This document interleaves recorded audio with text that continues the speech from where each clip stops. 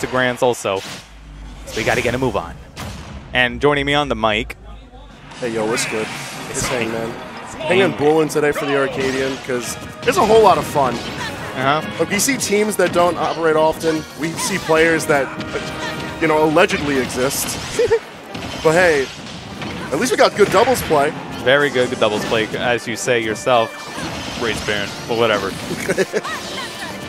So, like, Noche, I've never actually seen play up until today. But her Robin is pretty well refined. And Definitely, yeah. like she has a very good idea of how to lead the charge with Robin. At least in dubs, I feel like Robin's a really good initiator because Robin just gets to swing big hitboxes. Definitely. Levin Sword is really good at um, swinging around through the air. Has very good hitboxes compared to the Bronze Sword. One thing I do want to bring up though is the, the team of Pikachu and Snake is something we don't get a chance to see too often outside of like the upper echelon. So it's really nice to see it working so well here at home. Yep. And these two, uh, the blue team is really good in, in synergy and covering each other, and also keeping their stocks alive. And okay, that up tilt's almost gonna take it. I feel like with all like all four of the characters that are on board, there's no struggle to kill, and there's going to be a lot of like Uh, like residual damage. Like people are just going to get hit by things, even Yeah. if it's like working out as far as team combos are concerned from either blue or yellow team, or like people are just caught in the crossfire of their own teammates' carnage. Yeah. Like we have arc fire that's gonna hit a lot of people, especially when you don't tend to hit the person that's aiming for. Grenades exploding when you don't expect them to. There's just too much going on. C4 is on the floor. Good dash attack from Tony. Like it's a whole lot of chaos, so you got to give credit to both teams when it comes time to actually like buckle down and focus a play. And I feel like blue team has been showcasing that really well throughout the entirety of doubles bracket. Because like, just imagine being in the shoes of Pikachu in this instance. Not that instance when you get hit. Nope. But like, this don't look at that. He's had to navigate so much nonsense just to be able to get into position to either get his own combos going or save Tony. And in terms of what I've seen so far, not not, not a lot of teams were able to um, gimp Tony and, or to keep him at disadvantage, except one team. But uh, like you said, Mr. L will also be able to um, cover him for that, like that. Ooh! Love the awareness. And Tony even able to pick off the kill on Mitchell. And quickly on Ryan. You know, normally in dubs, like, at this point of the match, you get a clear idea of, like, who's got control, whether it be stage or just in general the momentum. You really can't say that for certain here. We might see the 2v1 pretty quickly given how high of a percentage Tony is.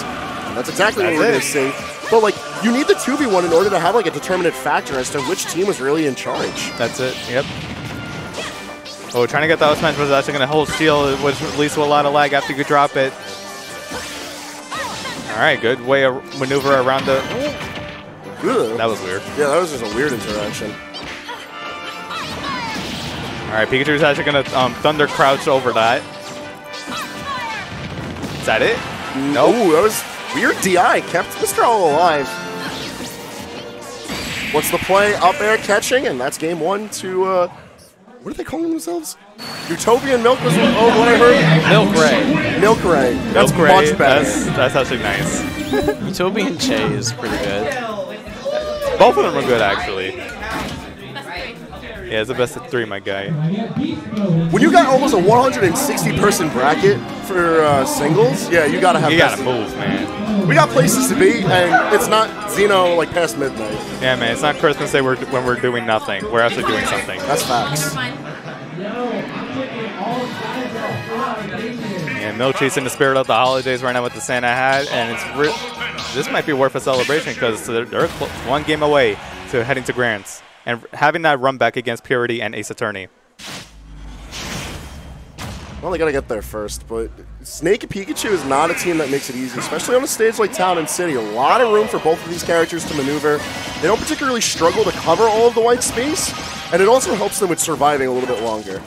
Which I feel like that might help them in the grand swing of things, because like I felt like Milche and Ray really didn't struggle at all when it came to like time to get the kill, just because damage built up so quickly on both sides. Definitely. And he's also well aware of um, how the hitboxes work for uh, Robin.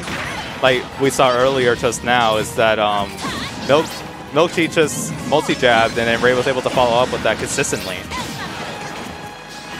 Like that's why I wanted to bring up earlier about how Robin's such a good initiator because typically, like, Palu wants to come in once someone presses a button or something is happening in general. Yeah. So like, Palu Souls are great for either keeping out uh, the supporting teammate of whoever's getting comboed, or to continue to continue some sort of chain. Great stuff from Ray taking the first stop, but I did like to point out that um, Tony earlier dro- threw a grenade against uh, on Robin and was able to negate the less trap that was on Mr. L. And thanks to that, Mr. L is still here. Tony's got a very good control over what explosives he's go got going on at the field at one time. And I especially like how often he's resetting his usage of C4. That way he always has it available to him if it's necessary for a recovery. Right now, Robin's out of 12 wins. Yeah, thankfully, that spell recovers very quickly, so Yellow Team's not too struggling if uh, Milche finds herself off stage. Like now. Right, Ray with the explosive flame trying to cover up, make Snake shield, and is able to come back on stage. He was aware that he was going to jump right there. Yeah, Tony was trying to place the explosive um, right in a position for where Ray would like get the ledge cancel. Which is really smart on his half, but also Ray with good reaction time had his good DI. Unfortunately, nothing, no good DIs would be able to save from smash attack. Definitely not. Actually DIing in from the down throw. Yo, into the, the Cypher. Cypher. Get that extra damage where you can. Back throws, definitely going to take it. I don't care how heavy you are, man. Nah, that's pretty safe. He tried to go for the upper to get um, an early spike. I respect. Yeah, both Pikachu and Pichu have that kind of thing.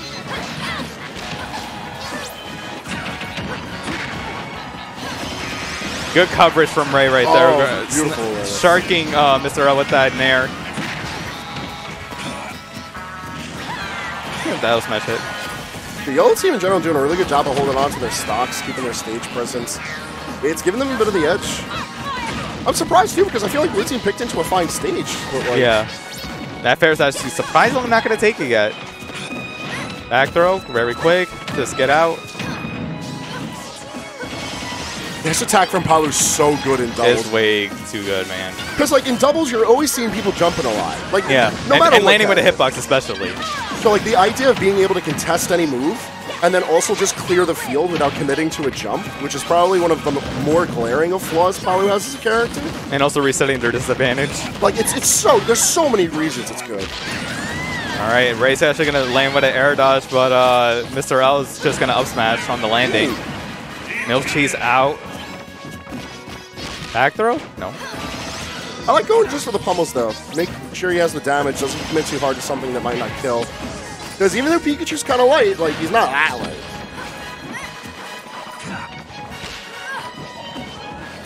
All right, trying to hit him with that nair on the landing. Oh, this is a bad situation, but uh, Mr. L's going to actually cover that with a back air.